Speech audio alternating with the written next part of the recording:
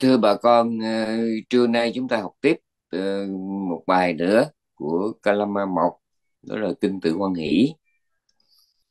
Bà con ờ, có thể vào ở trong trường bộ kinh ấy, đọc cái bài này ừ, theo cái chánh văn của Tâm Tạng. Còn trong cái bài giảng này chúng tôi chỉ, giúp cho các vị một số cái gợi ý, ừ, gợi ý khi mà đọc bài kinh đó những gợi ý này chúng ta có được từ ở trong cái chú giải chú giải của trường bộ kinh nha. Cái điều đại kỵ đó là đọc kinh tạng mà đọc bằng cái uh, vốn chỉ bằng cái vốn liếng việt ngữ. Đọc mà không có uh, uh, kiến thức giáo lý um, thì rất là khó um, rất là khó. Nếu không muốn nói là không được á um. nội dung bài kinh này là như thế này. Như rất nhiều lần, chúng tôi cũng đã có nói ở các bài giảng khác. Ừ. chúng ta ờ, không thấy ờ, đời này là khổ thì thôi. Chúng ta không có tin Phật thì thôi.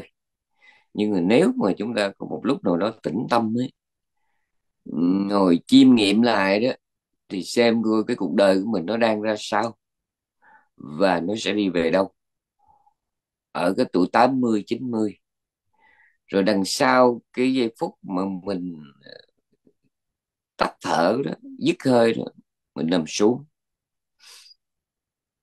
Dầu trên đường hay là trong bệnh viện hay là trong nhà hoặc là ở một nơi chốn nào đó. Thì sau cái giây phút đó, đó cuộc đời mình nó sẽ như thế nào? Chết nếu mình nghĩ chết rồi là hết thì thôi. Còn nếu mà mình cũng có một chút ngờ ngợ ấy có một chút ngờ ngợ ấy là còn có, biết đâu còn có chuyện tái sinh, biết đâu còn có chuyện luân hồi. Thì như vậy chúng ta vẫn phải tiếp tục ừ, đi nữa, chứ không phải là tới đó là hết. Mặc dù không hề có một cái tôi, một cái bản ngã, một cái linh hồn trường cũ bất biến nào đi từ đời này qua kiếp khác này chỉ đó không có. Nhưng mà nó nó tiếp nối thì có. Nó tiếp nối bằng những cái đơn vị pháp giới rất là phù du tức là cái bọt nước này nó tiếp nối cái bọt nước kia. Đó, thì cái này có. Bọt nước này nó tiếp nối cái bọt nước kia. Thì dù muốn dù không, nếu mà chúng ta có một chút ngờ ngợ thì chúng ta phải có chút chuẩn bị. Mà chuẩn bị đây là cái gì? Mà làm sao để chuẩn bị? Thì chúng ta ra soát xem trên thế giới này có bao nhiêu cái hướng dẫn tâm linh mà mình ờ, cần phải quan tâm đạo chúa đạo hồi đạo phật đạo ấn không? khổng lão nhiều lắm. Thì mình coi coi cái cái hướng dẫn tâm linh nào mà cần thiết để mà mình quan tâm. Thì tôi giả định là quý vị dừng lại để mà chọn lấy Phật giáo không? Tôi giả định đây. Ừ. Tôi giả định là quý vị dừng lại để chọn Phật giáo. Thì uh, có ba cái chuyện mà mình bắt buộc phải quan tâm. Khi mà mình biết quan tâm đến cuộc đời của mình cái tương lai của mình quan tâm đến cái đời sống tâm linh của mình ấy. và tôi giả định giả định là mình chọn Phật giáo. Thì chúng ta có ba điều chúng ta phải đặc biệt lưu ý. Điều thứ nhất là cái thân thế lịch sử của Đức Phật. Uhm, thân thế lịch sử. Có nghĩa là ngài không phải là một ông thần một nhân vật huyền thoại mà ngài là một danh nhân thế giới. Uh, có thật. Cái chuyện đầu tiên phải xác định cái đó trước. Uhm cái chuyện thứ hai nữa đó là chúng ta phải, cái chuyện phải lưu tâm ý, là chúng ta tùy khả năng của mình nha, tùy khả năng của mình. Mà mình chắc lọc, mình chắc lọc xem của cái gì là cái thế giới tinh thần của Đức Phật, ngài đã chứng đắc cái gì. Và cái nhân cách của ngài được định hình qua những cái hạnh lành nào. Uh-huh. và lời dạy của ngài đó để lại cho đời đó là gồm những gì? Cái gì mà nó thật sự? Mình thấy thật sự là giúp ích cho cái người hành trì. Cái gì thật sự là đóng góp ừ, cho cái nền văn hóa văn minh của nhân loại. À, thật sự chứ thật sự được tôi gạch dưới nha. Ừ, gạch dưới bằng mực đỏ. Uhm, cái gì mình thấy theo cái khả năng của mình nha thì đương nhiên là cái khả năng của ABCF là sao giống nhau nhưng mà mình nói khả năng của mình đi.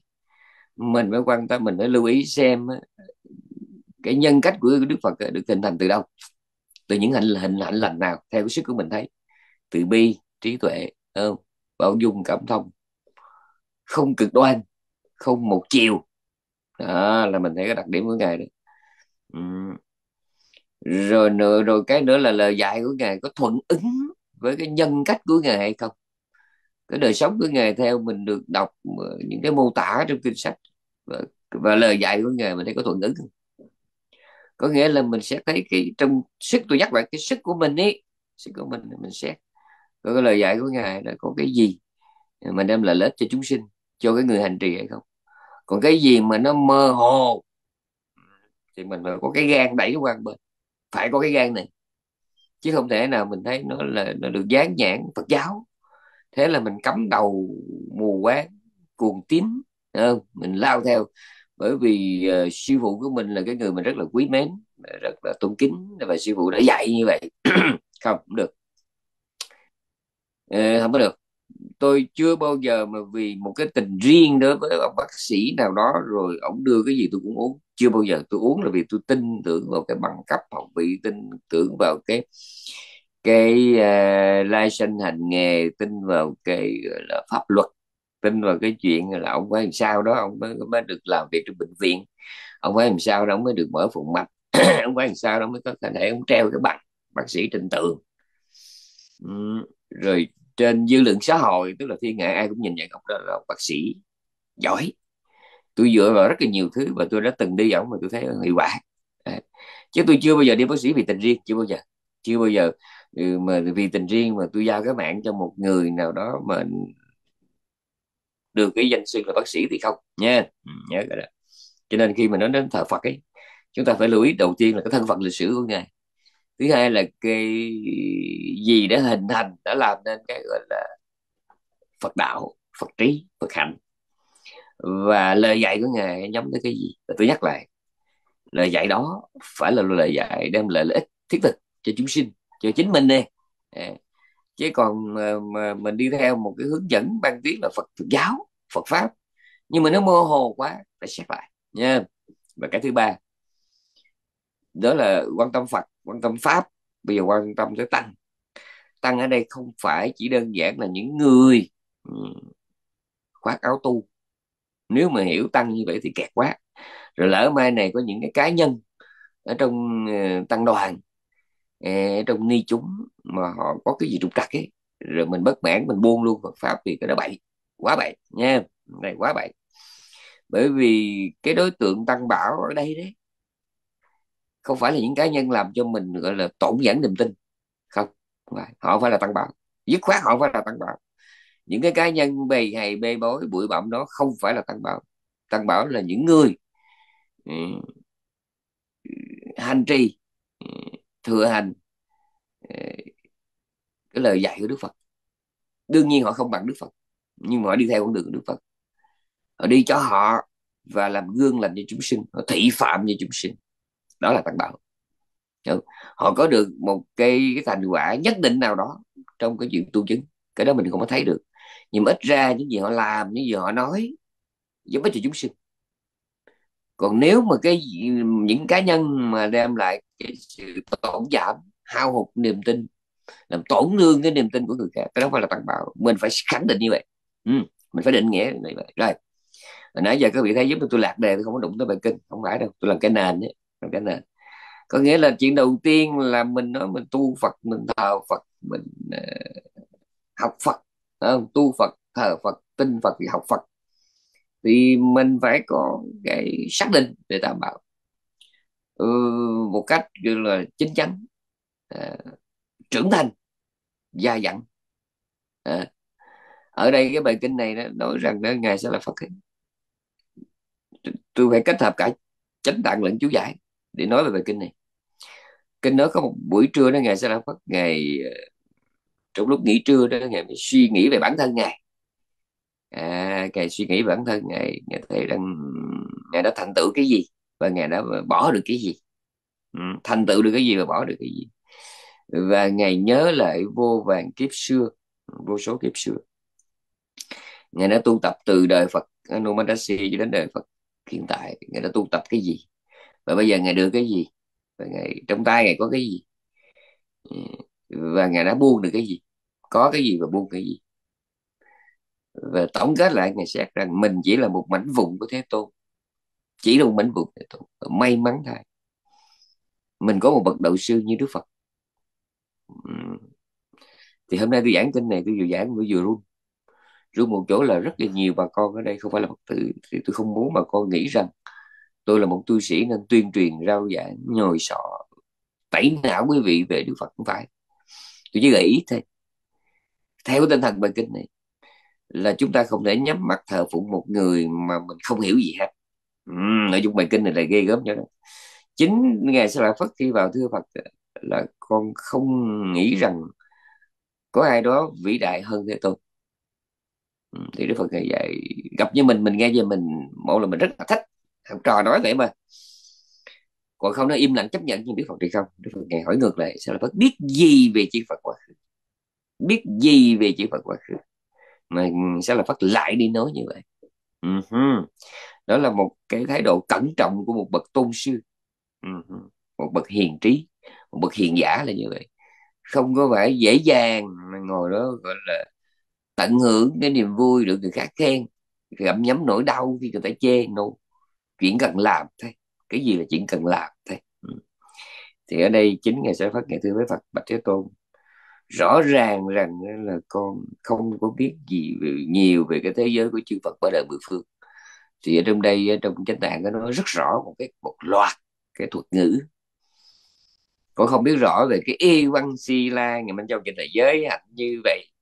Y văn với mút tăng là giải thoát như vậy. Y văn thâm là pháp tánh như vậy. Y văn vihari là an trú như vậy.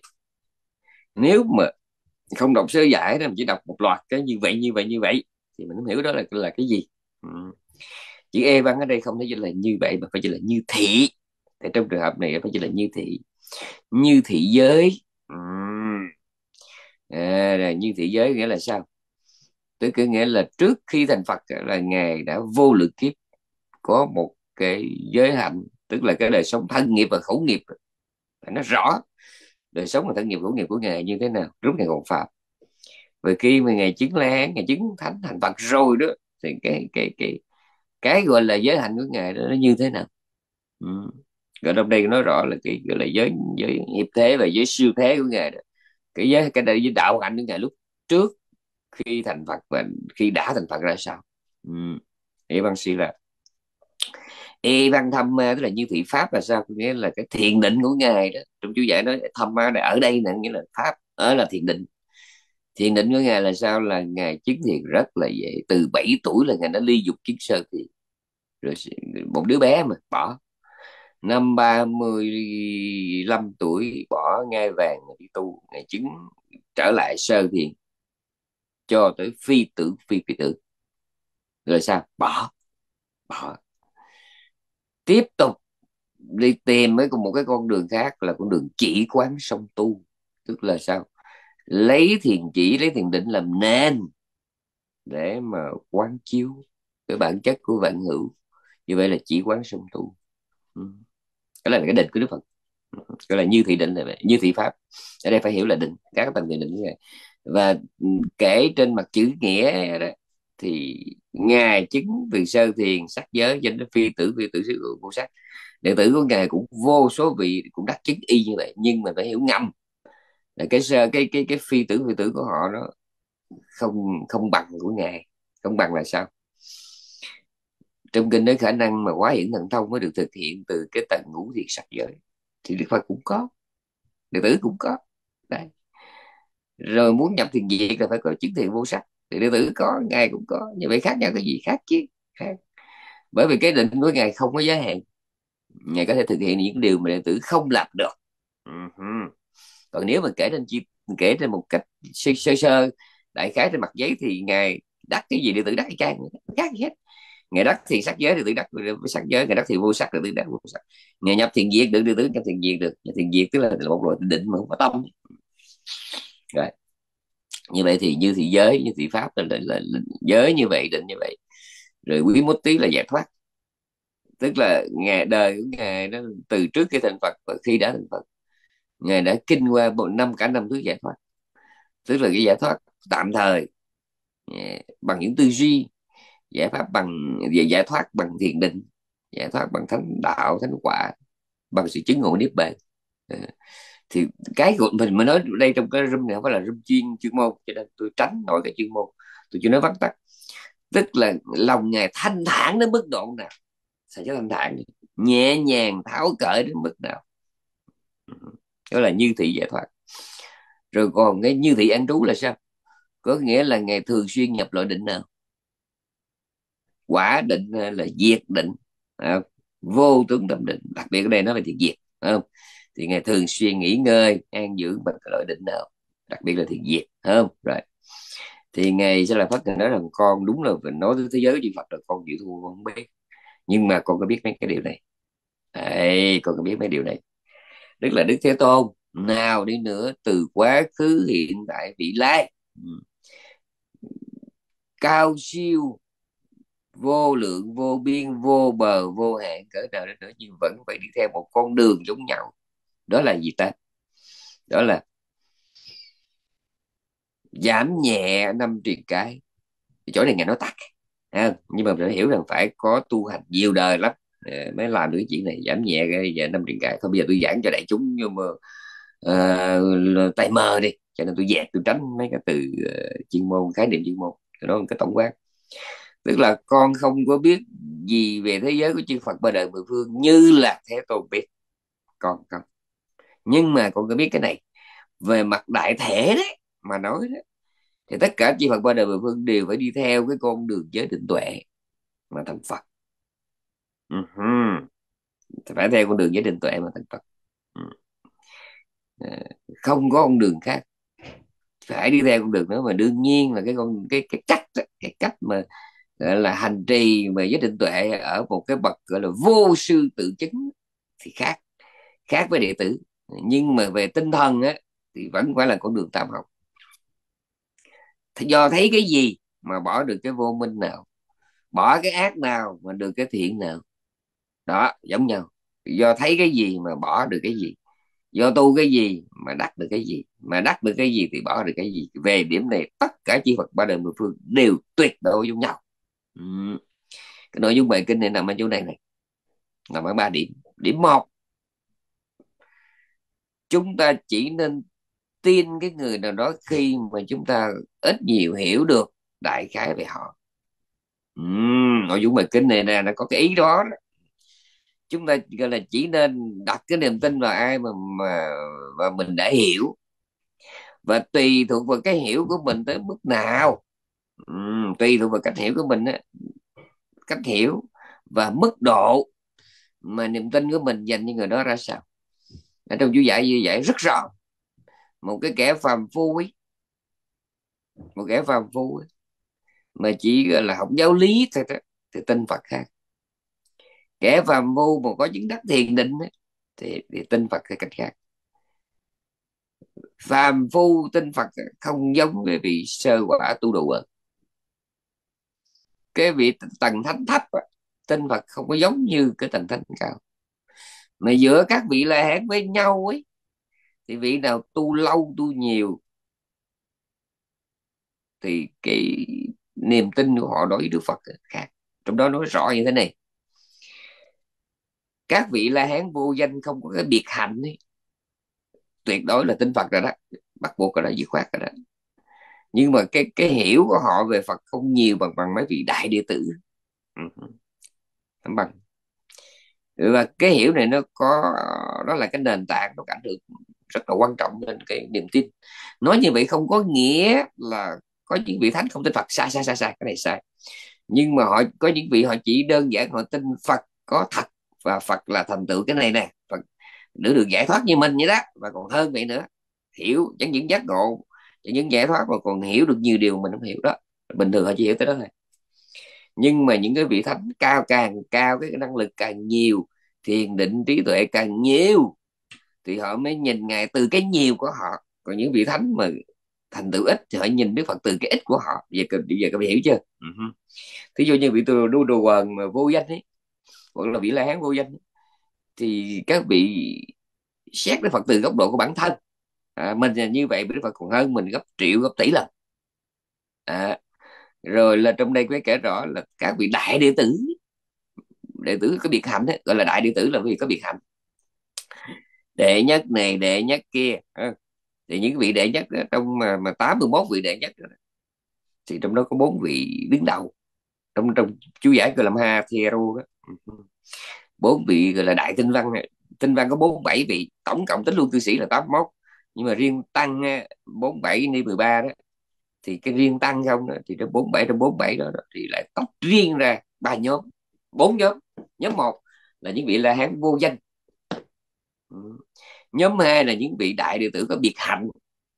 Là để nhất định nhắc nhất kia. Nhóm ba đó là trong số những vị biệt hạnh đó có bốn vị được xem là đệ tử tứ trụ. Uh-huh. trong chú giải là đệ tử tứ trụ gồm có ngài Maha Kaspat để đệ nhất đầu đà ngài Anuruddha là đệ nhất thiên nhãn. Ngài Maha Kachana là đệ nhất luận nghĩa. Tức là có khả năng giải rộng những điều Đức Phật nói vắt tách, dạ. và thứ tư là Maha là đệ nhất về bốn trí vô ngại. Thì bốn vị này mà Mahakasapa, Anuruddha, Mahakachayana và Mahakochita thì bốn vị này được xem là bốn vị đại đệ tử trong số 47 đại tinh văn thì bốn vị này bốn vị tứ trụ. Và cái biết của đức, cái biết về đức phật của mấy vị kia nó không bằng bốn vị này. Và cái biết của bốn vị này thì không bằng ngài sa la phất của nguyện liên mà cái biết của ngài một liên thì không có bằng cái biết của ngài sa la phất. Đó, trong đó nói như vậy. Và cái biết của ngài sa la phất không bằng cái biết của phật độc giác. Và cái biết của phật độc giác về chư phật chánh đẳng giác không bằng chư phật chánh đẳng giác với nhau. Nhớ không? Rồi cái phần này nó, nó là cái nền cho cái điều tôi muốn nói. Có nghĩa là cái biết của mình và niềm tin của mình nó, nó luôn luôn là song hành cái nội dung quan trọng nhất của bài kinh là nằm ở chỗ đó. Ừ là song hành cái biết và cái tin của mình đó, nó là song hành là cái cái điều thứ hai mới ghê. Là cái niềm tin Đức Phật đó, không chỉ đơn giản à, là do mình đọc sách xem kinh nghe giảng mà nó qua tới bước hai là cái gì ta là tư duy ừ. học chữ không được phải có tư duy gọi là trí trí văn không cho đủ phải qua trí tư ừ.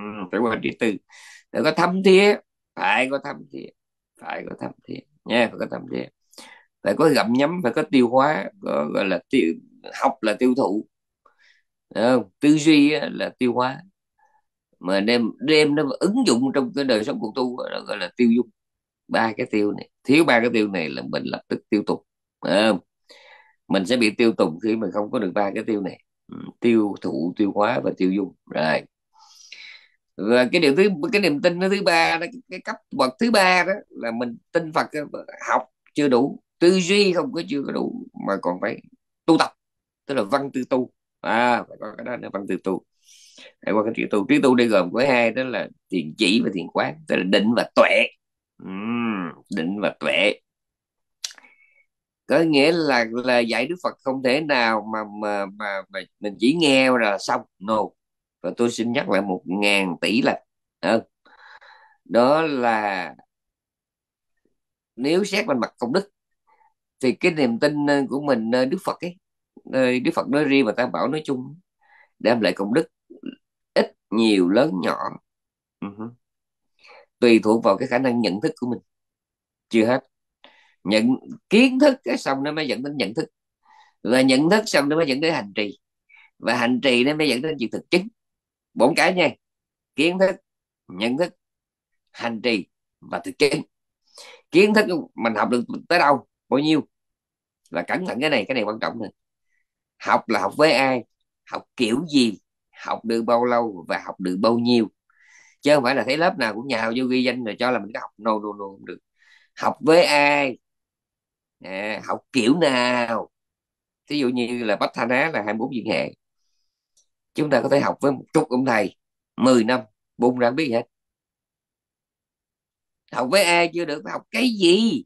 Học thế nào? What và how? À, rồi học bao lâu? Học bao nhiêu? How long? How much? Học bao lâu rồi, học bao nhiêu chứ không phải nghe nó lâu là nhiều. Sai sai. Nó nghe nó học 10 năm nhiều hơn cái người 5 năm sai. Cái cái how long nó khác cái how much. Học bao lâu nó chưa chắc là học được bao nhiêu. Nhớ không? Rồi. Như vậy chỉ riêng cái học không đó là mình coi mình học với ai? Học cái gì? Học thế nào? Học bao nhiêu và học trong bao lâu? Tại sao có cái bao lâu? Bởi vì có nhiều thứ trong đời này nó phải cần đến thời gian nó mới đủ chín mũi và tôi xin nói rõ nó rõ một chuyện. Niềm vui nỗi buồn, nhận thức trí tuệ của chúng ta, nó phải lệ thuộc rất là nhiều điều kiện. Trong đó có thầy bạn và môi trường sống. Đấy, chúng ta sống ở chỗ nào? Ừ? chúng ta sống ở đâu? Chùa miễu thiền viện học viện nha. Chùa miễu thiền viện học viện. Ở đó nó khác. Nó cho mình cái không khí, một cái từ trường rất là khác rồi cái chùa mà cái chùa chuyên học hay là cái chùa mà lâu lâu cứ có mới có một buổi giảng hai cái chùa khác nhau. Đấy. rồi cái không khí tu học của chùa à, cái tinh thần cái năng lượng mà bạn đạo ở trong chùa đó ừ, trao truyền cho mình được bao nhiêu rất là quan trọng. Cho nên đừng có nói với tôi là tôi học xong được hướng dẫn xong bộ trung bộ kinh này học xong uh, a tỳ đà mà, mà, mà, mà, sơ cấp rồi vậy là tôi giống như mấy, mấy cái người kia. No không có không, có, không, phải, không phải đơn giản như vậy. Có những người thầy có những cách dạy có những cái tư liệu thông tin. Đây cách thức nội dung. Đấy. môi trường. Mấy cái này nó làm nên cái chuyện là mình có tin Phật hay không mà tin được bao nhiêu. Không? và trong kinh ghi rất rõ. Cái hiểu của mình ấy, cái trí và cái niềm tin của mình trí và tính của mình nó, nó, nó liên hệ đến nhau nó mới làm nên ờ, cái cái chất lượng của cái niềm tin đó. Nó làm nên chất lượng làm chất lượng. À, trí tuệ trong này đi làm nó trí tuệ nó có trí tuệ vô trợ. À, tâm thiện nó có loại tâm thiện vô trợ và tâm thiện hữu trợ. Tâm thiện hào hứng và tâm thiện hờ hững. Tâm thiện nó đi đôi với trí tuệ hay là không đi với trí tuệ? Không? Như vậy mình thấy một tâm lành một tâm thiện nó phải có ba. Hào hứng hay hờ hững là một. Tự phát hay là bị tác động là hai có trí tuệ đi kèm hay không là ba. Đấy, bởi vì nó có loại thiện thiện hờ hững nó khác với thiện hào hứng. Này uh-huh. cho nên cái công đức của mình nó phải tùy thuộc vào cái chuyện là tâm thiện đó nó ra sao. Chúng ta hiểu Phật mơ hồ quá. Tôi nói không biết bao nhiêu ngàn tỷ lần. Chỉ riêng cái chuyện hiếu đạo với mẹ với cha thôi là nó cũng cần đến một cái sự hiểu biết nhất định. Từ bé sống ra mẹ từ bé. Không có nhiều kỷ niệm với mẹ từ bé. Mình không có ghi tâm những cái ấn tượng đẹp về mẹ thì khó mà có chữ hiếu lắm. Và khi mẹ mất rồi đó mình cũng khó mình nhớ lắm. Mơ hồ mẹ mất rồi là xong. Xác mẹ về đất thì trí nhớ mình cũng về trời. Trong khi đó một người con mà có nhiều kỷ niệm với mẹ đó, tình hình nó khác. Đi ra vườn nhìn lá khô, nhớ ở đó mẹ hay quét lá, đốt, làm phân, bón hoa. Như ra vườn nhìn mấy cái chỗ riêu đóng, nhớ ở đó mẹ có bị trượt cái đó một hai lần. Mà mẹ giấu, mẹ sợ mình lo. Đi vào nhà nhìn cái rổ mai, nhớ ở đó mẹ trong đèn ngồi giá cho mình từng tấm mai. Mai này lưu lại trên đời, gặp ở đâu đó cái cục sáp sáp đèn cày, sáp công nhớ ở đó mẹ lấy cái này mẹ ghim mấy cái kim này nhìn cái cặp kiến lão nhớ mẹ. Xuống bếp nồi chảo muỗng nĩa nhớ mẹ. Nhìn cái cùi bắp bên đường. Sơ bích nhớ nhớ hồi nghèo. Mẹ mua bắp cho mình ăn. Mình cạp xong rồi cái mẹ cầm cái cái cái, cái trái bắp để gỡ gỡ cái, cái cái hộp còn sót lại.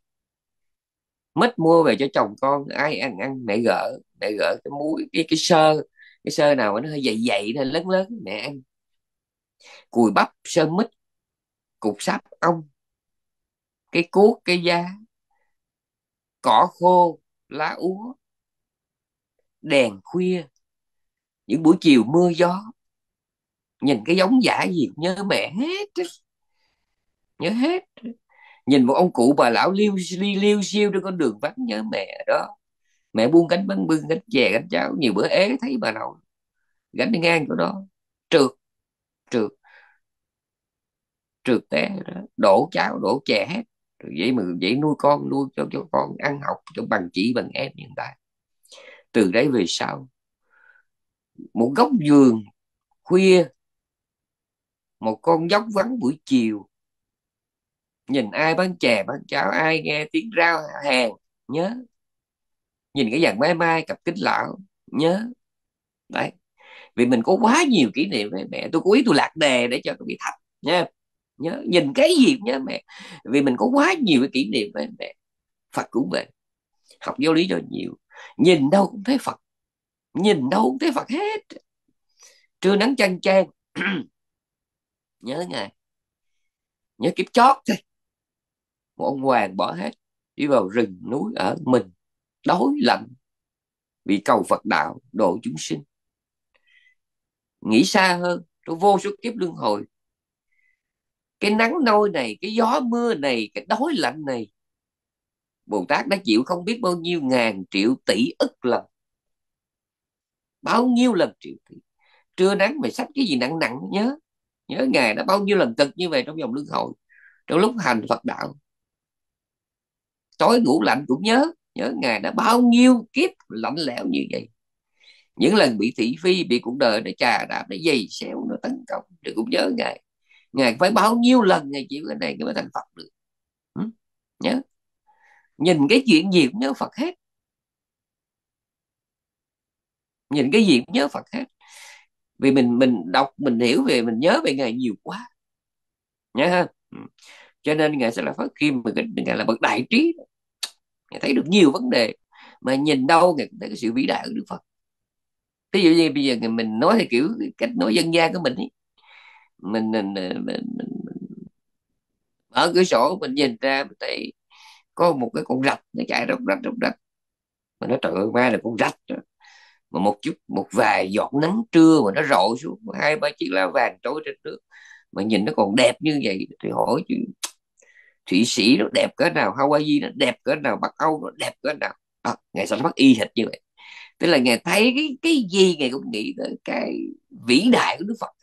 Nhìn con rạch mà ngài nghĩ ra bao nhiêu là quốc gia bao nhiêu là núi rừng thảo nguyên hoang mạc. Nhìn cái bonsai mà nghĩ đến nguyên cái khu vườn nhật khu vườn của nam hàn khu vườn của bắc kinh. Một cái bonsai có mấy mét vuông thôi. Đấy cho nên cái bài kinh này nội dung nó rất là quan trọng. Quan trọng ở chỗ nào?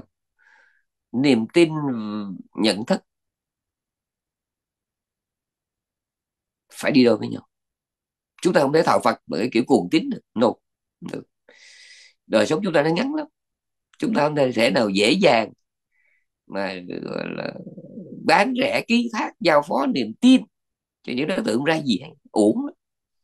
Mà đó là chưa kể cái việc chúng ta phải chịu trách nhiệm với bản thân mình trong cái dòng chảy luân hồi. Mai này mình đi về đâu? Liệu chiều nay mình còn sống không? Sáng mai còn sống không? Mình phải chuẩn bị một lối về mà, mà ai là người dạy cho mình cái cái cái chuyện chuẩn bị đó? Phật. Chính Phật dạy. Chính Phật dạy cho mình cẩn trọng con à. Chết không phải là hết đâu. Giả định như chết rồi là hết. Thì con sống lành con con an lạc thoải mái mà giả định như chết mà còn nữa thì sống lành chắc ăn hơn. Cái chỗ tốt nhất trên thế giới này để dành cho người có có phước. Cái điều kiện sống điều kiện tư duy điều kiện tâm linh điều kiện trí tuệ điều kiện giải thoát. Nó chỉ dành cho người có chuẩn bị thôi. Chứ còn cái cuộc đời này ở, ở chỗ nào cũng là đắc đạo được hết. Từ cái nhà cầu buồn tắm nhà bếp rừng núi làng mạc đại dương hoang đảo. Ở chỗ nào cũng người ta có hay đắc đạo được hết. Nhưng mà bây giờ anh đã chuẩn bị được cái gì? Cái chuẩn bị đó, đó là cái gì? Phật dạy rồi Phật dạy rồi. Mình không có chuẩn bị. Mình không có chuẩn bị hoặc có rồi đó nhưng mà mình không gặp đúng thầy bạn. Cho nên mình mặc cảm tự ti mình sống bằng cái đầu của tiểu thừa. Tự cho mình một cái tự ti. Ừ, tự cho mình cái tự ti là bây giờ tôi phải bổ túc ba la mật. Ai ai nói? Ai nói mình thiếu ba la mật? Ai nói? Chưa có ai nói tự mình nói. Này cho nên là làm công đức thì cứ chú nguyện xin tất cả hạnh lành này chuyển hết vào cái tài khoản ba la mật. Công đức giải thoát. Nhưng mà điều đó không hề có nghĩa là tôi đang thiếu. No. không có ai nói kỳ cục đó. Rồi các vị sẽ thắc mắc là suy nói dễ quá vậy bây giờ thời này qua có thánh có ai chứng thánh không? Nếu có thánh im re. Nếu mà có thánh tứ thiệt á im re. Bà hẩm có người hiểu lầm nghe bài giảng tôi hiểu lầm thế này. Tôi nói thế này nè cái người ly dục thật sự đó là họ phải trốn chui trốn nhủi. Thì có cái tên kia cũng là thông tuệ mà thi kỳ tài đó. À, anh mới hiểu thế này. Anh nói đó trốn chui trốn nhủi là ẩn cư còn thiểu dục ờ, là ít muốn. Thì sao ráp cho được?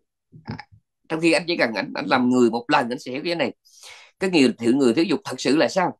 Có nghĩa là mình không muốn gì hết. Mà tại sao phải trúng vui trúng nhủi trúng vui nhủi đây? Có nghĩa là khi mình không thích danh lợi thì mình cũng không có muốn trường cái mặt ra để cho người ta biết mình không muốn danh lợi. Nha phải nhớ cái đó nó, nó, nó, nó phải đi đôi giống như nó là một đứa bé siêng học thì nó không ham rong chơi. Thật ra cái siêng học với cái không rong chơi hai cái đó nó khác nhau nhưng mà nó đi cặp. Thì cái người thiếu dục thật sự ấy, người thiếu dục thật sự họ không muốn danh không muốn lợi mà đã nói không muốn danh thì họ cũng không muốn ai biết về họ. Ừ. thì thời này cũng vậy. Các vị hỏi chữ thánh nhân có có chứ có. Trong cái theo trong kinh nói là thời này vẫn còn có cái bậc gọi là gọi là xuất khắc Vipasaka mà trong chú giải ghi rất rõ, thời kỳ này là vẫn còn. Có nghĩa là chứng thánh mà có thành thông đó thì có thể không còn. Nhưng mà chứng thánh mà không có thành thông thì có thể có. Mình phải có niềm tin. Và ở trong kinh ghi rất rõ là khi nào trên đời còn có người tu tập bát chánh đạo đúng thì trên thế gian không có vắng bóng thánh nhân. Trừ bộ kinh trừ bộ kinh nói như vậy. Này trừ bộ kinh nói như vậy. Trừ kinh đại bát đi bàn cho nên nó làm chưa gì hết là mình đã một là mình khoác là mình cái áo tự tôn mãn tự tôn. Cho rằng mình là vô địch là cái rút vũ trụ là vậy nhưng mà mình lại sống trong một cái nỗi niềm là tự ti mặc cảm cũng không nên. Uh-huh. tự tin nhưng không kiêu ngạo. Khiêm tốn nhưng không có tự ti mặc cảm. Không? thì là cái niềm tin của mình đối với Đức Phật phải dựa vào cái nhận thức của, của mình về ngài mà cái nhận thức đó đi ra từ kiến thức. Mà kiến thức ở đây là phải đi là từ cái chuyện cẩn thận khi mà, gọi là, thu nhập thông tin. Uhm. cẩn thận ở đây là sao? Học với ai, học cái gì, học kiểu nào, học bao lâu và mình học được bao nhiêu. Nhớ cái đó. Ờ. Chứ còn không chịu học mà cứ ngồi trong đời ờ, tăng ni, ban phát niềm tin, không được. Hoặc là học ba mớ rồi tự cho rằng như vậy là đủ. Thì đủ là đủ cái gì? Có đủ để mình tin Phật chưa? Kinh nói về tu đầu quần có thể chết 300 lần chứ không có một lần nào mà thay đổi suy nghĩ, thay đổi niềm tin về Đức Phật. Trong khi phàm phu chuyện nó có. Phàm phu không cần chết, chỉ cần tai nạn thôi. Trong lúc tai nạn mà có cái ông nào đó mặt mũi đẹp, tuyệt đẹp hào quang sẹt sẹt chiếu chiếu hào hiện ra là lúc mình tin đâu đó. Ông đó nói những cái điều mà trái với lời Phật mình cũng tin nữa. Hoặc là bây giờ là tự nhiên chữa lành ung thư không? hoặc là đi trên mặt nước không? Đi trên lửa ờ, bói được cái chuyện tương lai. Không cần bói tương lai bói chuyện trước mặt này. Họ chỉ cho mình biết là trong cái ba lô mình có cái gì là mình đã bỏ Phật rồi. Yeah! Việt Nam tôi tin tôi tin cái đó. Chỉ cần mà ông ngồi trước mặt mình mà ông ông nói rằng ờ, là trong ba lô con có ờ, trái ổi cây bút bi cái cuốn tập. À, mà trang ba con viết cũng gần nửa cuốn rồi riêng cái trang 12 nó là bữa con lật sót trang trang 12 chưa có viết gì hết mà con đã viết được 6 17 trang này riêng trang 12 bị bị bỏ trống. Và khi mà mình dò đúng trong trái trong trong trong ba lô mình có trái táo để chú đúng như là có cái bút bi đúng. Cái cuốn sổ tay nó bị bỏ trống cái trang 12 hoặc là bây giờ mình chỉ mới vừa ngồi xuống rồi mình chào ông là ông nói liền. Ông nói cái chuyện đó, đó là đã nói với dì út rồi. Dì út lo. Mình nghe nói vậy là mình nó rung bắn. Bởi cái chuyện mà chuyện mình với dì út là của mình mình mình biết thôi má mình còn chưa biết mà tại sao ông biết? Sáng mình mới gặp dục dục nói mà bây giờ mình mình đi lại trước mặt thầy mà mà mình trong lòng cũng hơi hơi hơi lăn tăng nghe cái chuyện hồi sáng mình nhờ bà ừ. mình mới vừa ngồi xuống là ông, ông nói luôn nói chuyện đó gì là dốt đã hứa rồi không có lo. Thì là mình chỉ nghe cái chữ nghe cái câu đó là dốt đã lo rồi là mình làm sao được biết. Ừ. Và có mấy ông thầy phong thủy mình tới gặp mặt ông mình chưa có nói mình mình hỏi cái gì là ông chỉ nói dời cái lu nước nó ra, ra, ra đằng ờ, bên tay phải bên tay trái gì vài mét đi. Thì cái chuyện nó tự động nó giải quyết thôi à. Mà làm sao mà ông biết nhà mình có cái lu nằm ở chỗ đó. Ừ Đấy. thế là vài chiêu mỏng chiêu nhẹ vậy thôi là Phật pháp bỏ hết. Bởi vì sao? Vì cái hiểu của mình ờ, bản thân mình tôi nói hoài mình có bao giờ mình chịu thấm thía cái thân xác hình hài này là khổ. Mình đến với Phật có phải mục đích là cầu giải thoát hay không? Và thứ hai là Phật dạy cái gì mình có học? Chưa chưa. Thế là mình cũng còn đang lăng tăng. Mà khi mà mình còn lăng tăng ấy thầy bà cỡ nào cũng mua được mình hết. Ổng ngồi cái mông cách cái, cái, cái chiếu chừng tắt là rồi xong ông ngồi trên nước mà ông uống trà ngồi trên mặt nước ấy mà uống trà là rồi phật nào mình cũng bỏ. Ông nói được cái chuyện trong cái ba lô mình có cái gì là mình cũng bỏ bỏ phật. Ông nói được cái suy nghĩ của mình thôi. Mà theo trong cái biết của chúng ta từ kinh điển người ta bên ngoài cái chuyện mà mà, mà, mà ông biết trong ba lô mình có cái gì nó nhiều lắm. Ở đây tôi không nói thằng thông. Nó có những loại bùa chú mà họ nuôi âm binh ấy âm binh nó nói hết. Ừ, âm binh nó nói. Thì các vị có thể không tin nhưng tôi tin gì đó. Ừ. nó nói có có người khách tới ngồi trước mặt là có đứa lại nói ngay lỗ tai. Nói bà này ừ, tiểu tam bị người ta đánh ghen. Ừ. nó nói thẳng luôn. Rồi cái ông này là mới đi trốn nợ bây giờ rung quá bị truy sát. Ừ, nó nói lỗ tai mình. Thế là mình cứ thầy cứ than tỉnh bơ là đứa kia là nó tin sái cổ. Ừ cái đám đó nó đám mà, mà lục lăng ờ, âm binh đó là nó lo hết. Mà dĩ nhiên tôi không có muốn. Mang tiếng là đem cái chuyện phong thần và giảng. Tôi rất là ghét cái chuyện mà người ta hiểu lầm cháu là phong thần. Cho nên tôi chỉ quẹo hoàng chút xíu thôi. Tôi quay trở lại là nhiều lắm quý vị nhiều lắm. Hoặc là chuyện hơi cụ thể chút là bây giờ tôi tôi chữa được cho cái vị cái bệnh mà bệnh bệnh ờ, ờ, thấp khớp bệnh tiểu đường cao máu bệnh u gai cục sống thoát vị địa đệm tiền đình hậu đình gì đó không? Là các vị là, là, là, là theo tôi đã luôn. À, tôi chỉ chữa bệnh giùm thôi. Đang đau lớn hoàng hoại mà tôi chỉ thổi cái phù mát vuốt nhẹ cái là mát lạnh. Đứng dậy đi sống sống sống thì tôi nói cả họ quỳ xuống báo với sư. Phật pháp bỏ hết. Vì Phật pháp ờ, cả tủ kinh đó có giúp được ai đâu. Tăng ni mấy chục ngàn có giúp được ai đâu trong khi cái ông này chỉ thổi cái phù cái bát rồi mình đứng về đi sống sống không? Đó, chỉ vậy cho nên phải xét lại cái, cái, cái, cái niềm tin của mình đối với Phật ờ, cỡ nào. Ừ. Chứ mới chữa mình nếu có cái bệnh không nó giúp cho mình cái chân đi được cái là bỏ Phật đã không? Ừ. đây cho nên nó tôi ôm lại một tí. Tới chết cũng phải nhớ câu này. Có bao giờ mình chịu thấy cái hiện hữu này nó là gánh nặng? Mình có nhìn thấy cuộc đời nó qua bốn chữ vô vô ích vô nghĩa vô dụng và vô vị. Cái người nào thấy được cuộc đời nó nó qua bốn cái chữ vô này này nó mới, mới bắt đầu có nhu cầu tìm đến đời sống tâm linh. Qua chúa qua phật. Thì nãy tôi có nói là giả định tôi giả định là quý vị tin phật ấy. thì các vị phải tự hỏi các vị đến với phật bằng cái niềm tin như thế nào? Ngay ngày sau lại phát cái ngày là vì a la hán mà ngài cũng phải nói con tin để tôn là vì con đường nó chính con đã đi qua. Chính con nè đã đi qua con đường đó đương nhiên cảnh giới chư Phật thì quá tầm của con nhưng mà con biết chắc. Thông qua cái hành trình mà con đã đi để con được như hôm nay à, thì con biết chắc là chỉ Phật ba đời mười phương cũng phải đều đi trên con đường mặt chánh đạo. Đi trên cái con đường của tam học mới thành Phật. Còn chuyện mà thành Phật rồi mà cái đạo hạnh của các ngài đến cái trời biển nào. À, thì đó là chuyện của chư Phật con biết. Nhưng con biết chắc là chỉ có con đường này ừ. chỉ con đường. Chỉ con đường này giống như hỏi con đường nào để trở thành tỷ phú nữa nhiều lắm, nhưng mình có thể chốt được một câu. Kiếm tiền hợp pháp, bốn chữ. Kiếm tiền hợp pháp. Bất cứ một tỷ phú nào, bảo đảm đã nói tỷ phú. Mà ở đây tôi phải nói là tỷ phú đô la nha. Chứ còn cái tỷ phú của Việt Nam tôi cũng ớn tự nhiên cái nhà nào nằm đâu trong hẻm vậy cái tự nhiên cái ngủ giấc vậy cái nó văng ra mặt tiền thành cái ngủ vậy thành tỷ phú, cái thứ đó tôi không có kể. Tôi nói là tỷ phú của quốc tế tỷ phú có mình giàu Việt Nam kêu giàu hổn tức là đầu hôm nạp xích lô sáng lên ngôi tỷ phú cái đó kêu giàu hổn giàu không có căn cơ. Cái gì cái tỷ phú là tôi đang nói giàu giàu căn cơ là áp dụng kiến thức độ bén nhạy kinh nghiệm à, à, rồi chịu thương chịu khó kiên nhẫn tụi lâm hết cộng lại hết ra cái tỷ phú tỷ phú đô la. Ừ thì đây tôi không biết quý vị giàu cái nào nhưng mà tôi thấy mà quý vị nổi tiếng của thế giới là tôi biết chắc bốn chữ. Kiếm tiền hợp pháp. Bây giờ phi pháp là đã bị lụm lâu rồi. À, à, cho nên bắt chỉ có chữ hợp pháp đây là bắt buộc phải có. Rồi cái thứ hai là kiếm tiền. Tôi không biết anh kiếm cách nào nhưng mà anh phải có tiền.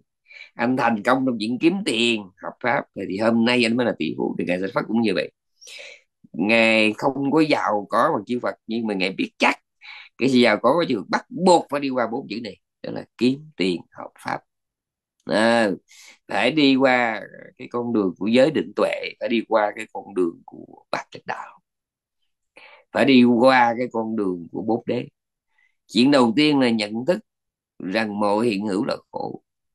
Nhận thức hai thích cái gì cũng là thích trong khổ. Nhận thức ba muốn hết khổ đừng thích trong khổ nữa. Thứ tư bốn ba cái nhận thức này chính là con đường thoát khổ ừ, nhớ như vậy. Thì tất cả chư Phật ba đời mười phương tất cả thánh hiền nói chung gồm có chư Phật tổ các vị đệ tử tăng tục cư sĩ hễ là thánh hiền hễ là không còn phàm phu thì bắt buộc phải đi qua trên con đường này phải đi qua. Có vị thì đi bằng ờ, xe hơi đi bằng xe đạp ờ, xe Honda vị thì đi bộ có vị đi xe lăn có vị thì trường bò lê lết đi bằng đầu gối đi bằng ngực đi bằng gù chó. Không cần biết. Không cần biết. Hoặc là nhờ ai đó làm người phu kéo hoa cao cho mình đi. Không cần biết. Miễn là phải đi trên con đường đó. Phải đi trên con đường đó. Về cái hướng đó, cái tọa độ đó. Ừ, rồi. Nội dung bài kinh này nó như vậy đó chứ không phải đơn giản như mình chỉ liếc mặt ra mình thấy như một người đệ tử khen sư phụ khách nổ đâu có đơn giản như vậy. Ghê gớm ở chỗ đó là cái tầm của người đệ tử cái niềm tin nó phải vừa với cái tầm nhìn. Ừ. Mình thương nhau vì cái gì? Ừ. Thương đến mức nào mình mới thể cưới được nhau? Thì dựa vào mấy cái này là thương nhau cái gì? À, và bao lâu? Thì rồi mình mới cưới được nhau. Thì mình mới có thể đoán định được cái cuộc hôn nhân đó cái nội dung của nó cái thời hạn của nó như thế nào đó là chuyện bậy bạ ngoài đời đó, chuyện nam nữ, chuyện tình cảm gia đình. Chỉ riêng mình mình thương nhau cái gì? Tôi biết có trường hợp mình chỉ thương nhau cái vỏ ngoài tôi biết có cái cô đó, cô lấy chồng. Chỉ vì cổ mê cái anh nó nói tiếng mới dùng nói giọng huế. Yeah! Đó là một người quen của tôi. Vì thích dùng huế quả đi, cho nên lấy một anh chồng người huế. Trời ơi, về làm dâu nhà huế, tôi nói tan nát cuộc đời. Chỉ vì cái dụng huế rồi tôi có biết một bà sư cô đức đi tu lấy chồng chỉ vì mê cái nụ cười. Cái hàm răng ông này là coi như là cực đẹp. Đấy. Là mê cái hàm răng mà lại trời ơi giờ tránh coi như một tháng ông đánh tới 32 ngày. Tức là ông mượn luôn hai ngày của tháng sau quýnh tiếp. Một tháng là ba chục ngày đánh đến 32 ngày. Thì cho nên chúng ta là nhiều khi chỉ mình phải coi ra mình thương nhau cái gì? Thì cái cái cái thời gian và cái chất lượng của cuộc hôn nhân nó được quyết định. Thì niềm tin niềm tin người ta bảo cũng vậy. Chúng ta tin hoặc là tin vào cái gì? Tin được bao nhiêu? Tin được kiểu nào? Thì chính cái kiểu tin đó quyết định cái chất lượng và cái thời gian, cái độ bền của cái niềm tin Đấy không? Bài kinh này có cái tựa đề là tự hoan hỷ. Và tôi chỉ giảng về cái sườn thôi, cái sườn của kinh rồi hẹn là các vị uh, chủ nhật sau tôi mới giải vô nội dung nha. Rồi. Rồi sơ sơ vậy là cũng uh, non tiếng rồi dạ rồi. Thì bây giờ hẹn các vị chủ nhật sau. Bây giờ tôi phải đi.